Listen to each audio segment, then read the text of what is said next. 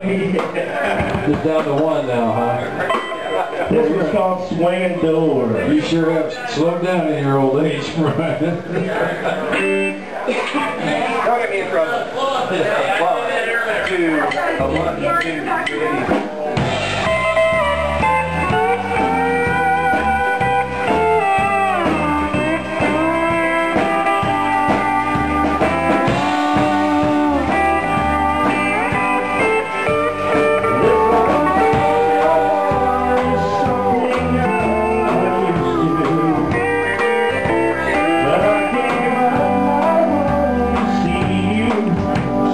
And I just can't let you